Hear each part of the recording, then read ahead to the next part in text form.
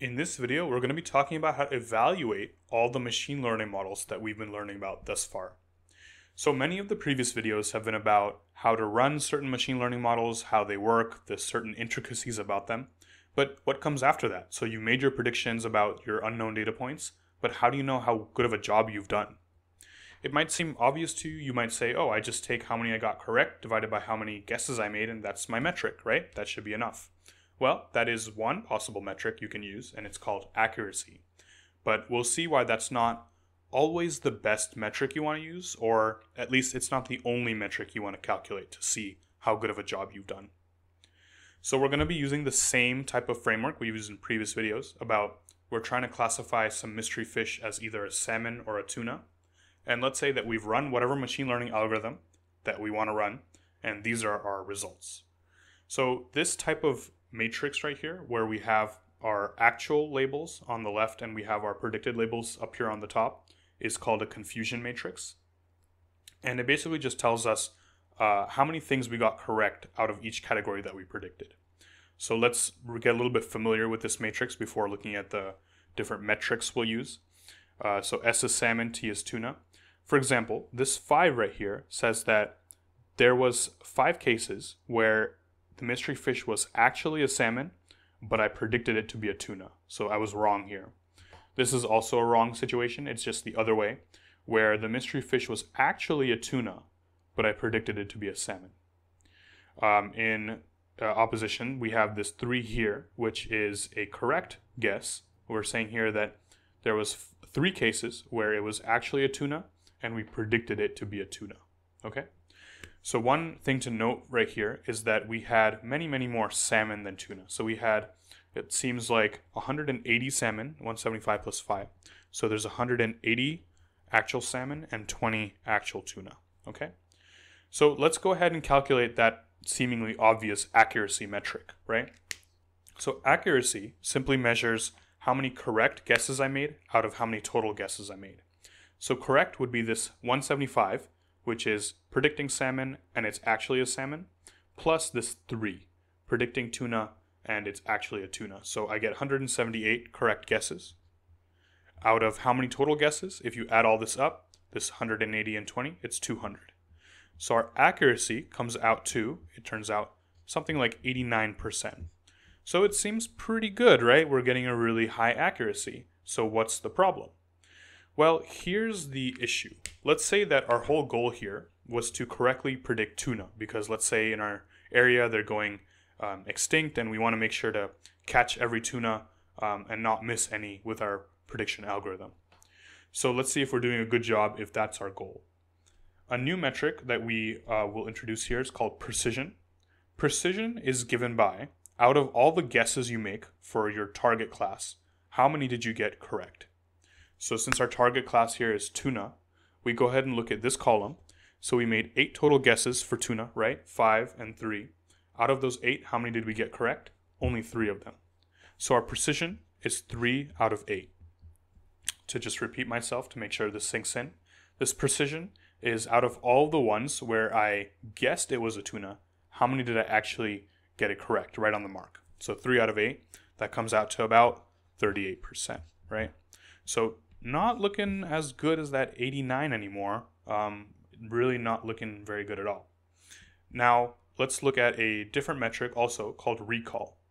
Recall measures a slightly different thing with a different notion. Recall measures out of all the things that were actually tuna, how many did I catch as tuna? So that's subtly different because now we're looking at this row of things actually being tuna.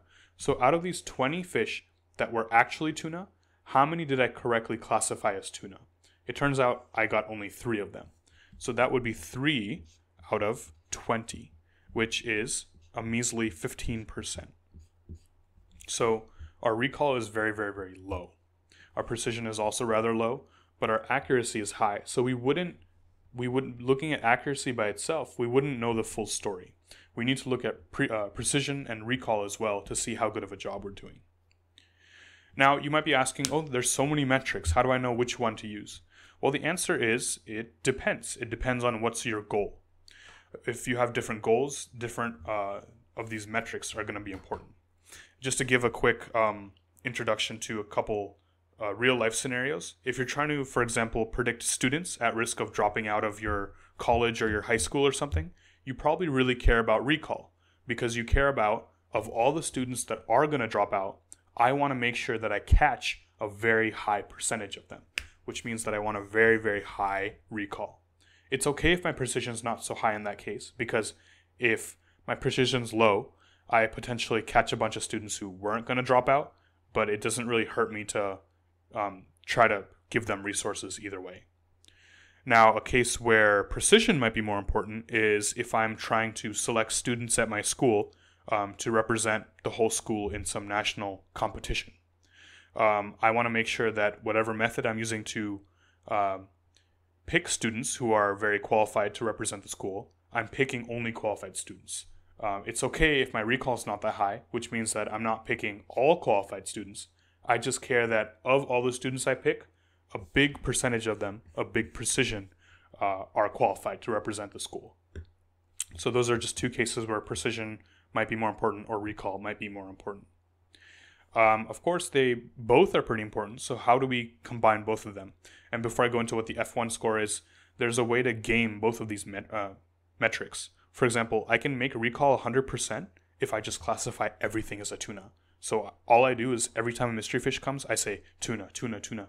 That means that I'm gonna catch all the tuna because I definitely classified everything as a tuna. So my recall will be 100%. My precision probably is gonna suck because I um, classified a bunch of things as a tuna that were not a tuna at all. A way to game the precision metric uh, would be basically if you only classify something as a tuna if you're really, really, really, really sure. If you're like almost 100% sure. In that case, you're going to have a very high precision because you don't make many guesses at all. But you're probably going to have a bad recall because you didn't catch a lot of things that were a tuna because they weren't strongly tuna enough for you. So, how do we kind of uh, fix that so that we can't game the system. We calculate something called a F1 score, which is simply just 2 times precision times recall over precision plus recall. If you know what a harmonic mean is, this is just the harmonic mean of precision and recall. If you don't know what that means, don't worry about it. But this basically just captures both metrics so that you're trying to maximize the F1 score. You need to maximize both precision and recall to some extent. Okay. So this video was just mostly the point I want to get across is that accuracy is not the end all be all metric. Here we saw our accuracy was high, but our precision and recall were uh, considerably lower. So basically look at your problem situation in the context of everything and think about which of these metrics is really important to you and try to maximize that one. Okay? So until next time.